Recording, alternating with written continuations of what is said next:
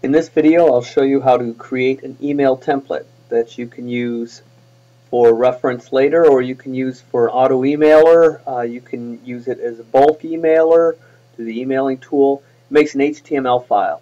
Uh, you can go to any of the places where you can create emails. Uh, for example, I'm inside a customer and I went to the email tab. I'm hitting add. You can also go to main email bulk emailer. This area here is an HTML editor area. So we can simply type in the email message we want.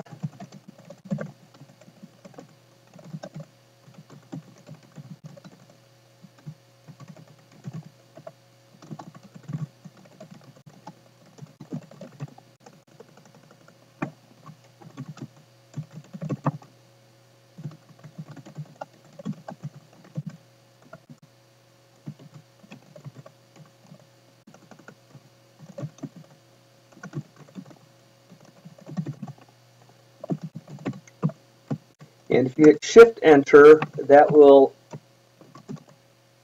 bring it down so it only does a single space as opposed to a paragraph. And as I'm typing in the URL and hit space, it just fills it in, and now that's a linkable, uh, clickable uh, URL. Then we can start doing some fun things in here. Since it's HTML, we can do things like changing the font. You want to keep the font usually pretty simple uh, Arial Times New Roman, things like that that all systems are going to have when it arrives on their uh, on their computer. Um, but you can use different fonts. You can change, uh, of course, the size and colors. Make it bold, underline, all kinds of different things you might want to do. Um, we can also give it different layouts by using things such as tables. So I'm going to create a quick table here so that there'll be a, um, you've probably seen these with a, a, a, area on the left. So I'm going to set uh, one row with two columns. and I'm going to set a background color of like a green. Click OK. And what I want to do is I want to copy this I'll cut it actually, paste it over here, and I use that green so I can go into the HTML editor. If you know HTML, you can come in here, do all kinds of things. So I'm going to take, the reason I chose the green, uh, or the color I chose, I choose whichever, but I knew it was going to put it inside here for me. I don't want it to be in the table. I want to take that, cut it out of there, and I want to put it in the column, which is the TD section here is a column. And I'm going to paste it inside here. And I'm going to set the width equal to 15% of the screen.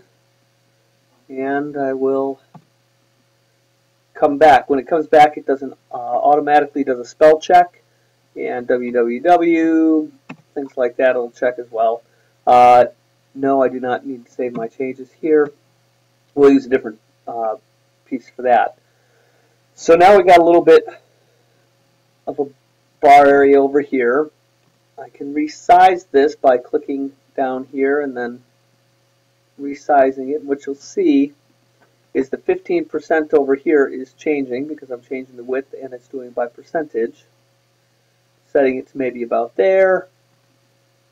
If I put the cursor in here and hit enter, I can get these sections to go down a little bit. Um, you can also do all kinds of playing in HTML if you know HTML.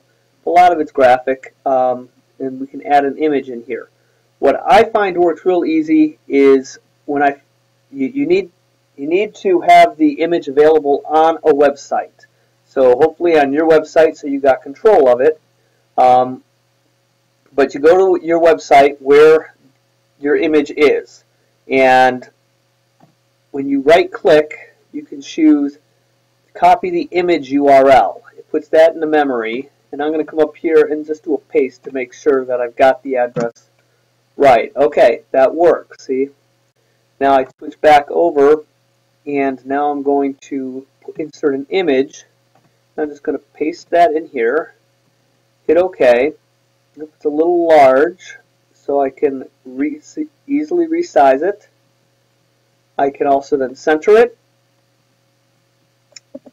Maybe I want a space in between there. Maybe I don't want that big of a space, and so I might do a shift enter so it's a single space as opposed to a paragraph space, like here's a paragraph space. And uh, that may be my simple email I want to be sending out. And this is just a template. It's going to use it over and over, and I will uh, be able to take this one and save it. So I click Save down here. Um, always like to kind of check the HTML, see if it looks pretty clean. That looks pretty clean. Sometimes there's all kinds of extra things in there that you might want to clean up. And so now I hit Save and I can save it onto my desktop or wherever, someplace I'm going to be able to, uh, and, and I already have one here called this, so I'm going to tell it yes, overwrite it. It's now saved. What I like to do is I like to close this. No, I do not want to save my changes here because I'm not trying to save this as an email within Trakker. I want to save it as a file to be used. So this is asking, do I want to save it so that I could be emailing this off to somebody later.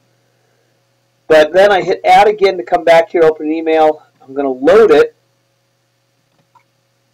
And there it is all saved. So now I can take that file and put it out someplace to use for uh, a template, which if this template could say be my signature on the bottom and have thank you for uh, or, or, or, just you know the regular contact information you might put on the bottom of an email uh, that you use over and over and then you can go load and then open it up and start typing your new email.